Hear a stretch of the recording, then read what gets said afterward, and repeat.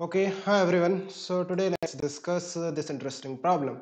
So what it says, uh, what is the radius of curvature of the parabola traced out by the projectile in the previous problem at a point where uh, the pa particle velocity makes an angle theta by 2 with the horizontal. Okay, so यही आपका second part है इसका जो first part है हमने पहले भी discuss कर लिया है right कि आपने एक यू नो ऑब्जेक्ट को किसी एंगल पे लेट्स से थीटा पे u वेलोसिटी से प्रोजेक्ट किया है और ये कुछ इस तरह से प्रोजेक्टाइल मोशन करता हुआ वापस ग्राउंड पे आ रहा है। सो so, हमें निकालना है radius of curvature at a point कहाँ पर? जहाँ पे आपका जो वेलोसिटी वेक्टर है कुछ v होगा राइट v um, कितना एंगल बना रहा है? हॉरिजॉन्टल से theta by two theta by two बना रहा है with horizontal so what will be the radius of curvature at this point मान लेते हैं ये पॉइंट ए है।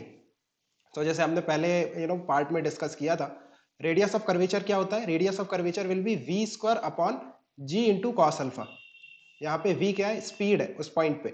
So v will be under root of V X square plus V of Y square V X क्या है? Horizontal component of the velocity V Y क्या है? Vertical component of the velocity right और alpha क्या है? Alpha is tan inverse of V Y upon V X so अगर आपको किसी भी पॉइंट पे वी एक्स और वी वाई पता है, देखो वी एक्स तो पता ही होता है, क्योंकि वी एक्स हमेशा कांस्टेंट रहता है। कितना रहता है?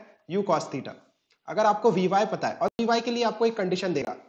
मे बी टाइम दे दे कि कितने टाइम के बाद you know he is asking for the radius of curvature और जैसे थीटा दे दिया, कोई ना कोई कंडीशन देगा जहाँ से आप वी वाई निकाल लोगे। एक बार वी एक्स और वी वाई आ गया देन आप वी निकाल सकते हो और अल्फ़ा निकाल सकते हो। और इस इक्वेशन में पुट कर दो, आपका रेडियस ऑफ़ कर्वेचर आ जाएगा। फाइन जैसे हम इस प्रॉब्लम को डिस्कस करते हैं। सो पॉइंट ए पे उसने ये कंडीशन दे रखा है कि जो एंगल है वो थीटा बाई टू है।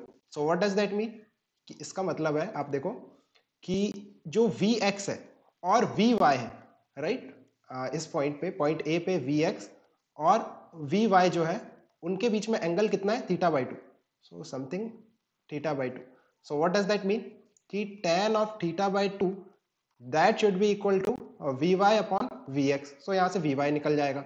V Y is equal to V X into tan theta by two देखो वी एक्स हमें पता होता है। आप देखो V X is the horizontal component of the velocity वो चेंज नहीं होता, क्योंकि आपका हॉरिजॉन्टल डायरेक्शन में एक्सेलरेशन ज़ीरो होता है। तो आप देखो, जो वी एक्स होगा, वो कितना होगा? यू का कॉस थीटा आपको वी एक्स पता है और वी वाई पता है। V y is equal to u x into tan theta by two so u cos theta into tan theta by two बस, अब सब कुछ आ गया। पहले क्या निकालेंगे? वी निकालेंगे। Speed at point A speed क्या आएगा? Under root of v x square plus v y square so u square cos square theta plus u square cos square theta into tan square of theta by two so यहाँ से check करो कितना आ रहा है। You cos theta तो बाहर निकल जाएगा। और one plus tan square theta by two one plus tan square mean sec square theta by two तो sec theta by two fine so ये आपका वी आ गया। ठीक है?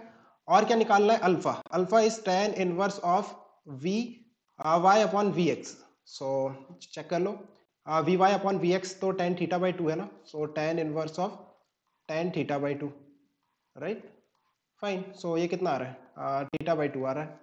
So alpha theta by two है. अब इस इक्वेशन में पुट कर दो. R is equal to r is equal to v square v square means u square cos square theta into sec square theta by two divided by divided by g into cos alpha. G into cos of alpha is theta by 2 so, this is your answer. यही आपका answer है right और इसका जो derivation है, हमने first part में कर लिया है so you know let's skip that it's kind of repetition you can check you know in the previous video कि जो रेडियस ऑफ़ कर्वेचर आएगा, वो v square upon g cos alpha आता है है ना?